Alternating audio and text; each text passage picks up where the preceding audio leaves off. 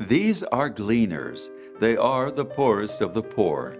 They subsist by picking up the dregs left behind after the harvest.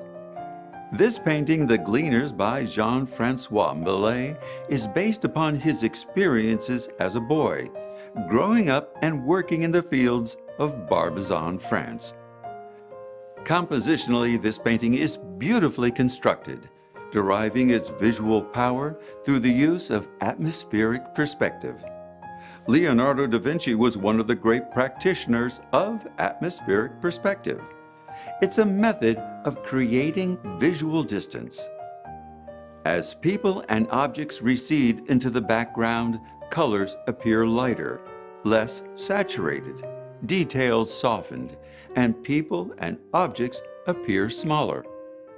In the foreground, we have three gleaners, three strong, imposing women. Their hands are gnarled, their work backbreaking. Stooped over, they look like three immovable pieces of sculpture.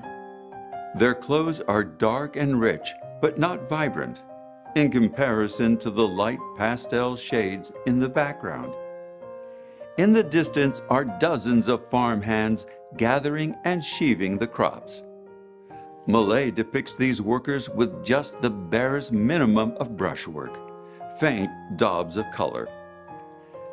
Creating this visual distance between the foreground and the background is crucial to the subject matter, a commentary on class struggle and economic disparity. The topic proved less than popular with those wealthy enough to purchase his work. To his disappointment, the artist had to settle for an amount far less than his normal asking price. Millet wasn't a political person, but he also wasn't shy in depicting social reality, letting his brush do his talking for him. The Gleaners by Jean-Francois Millet resides in the Musée d'Orsay in Paris and is available as a handmade oil reproduction from First Art Gallery, the premier supplier of reproductions and portraits. We hope you enjoyed this video. If so, like it, share it, and subscribe to our channel by clicking on the notification bell.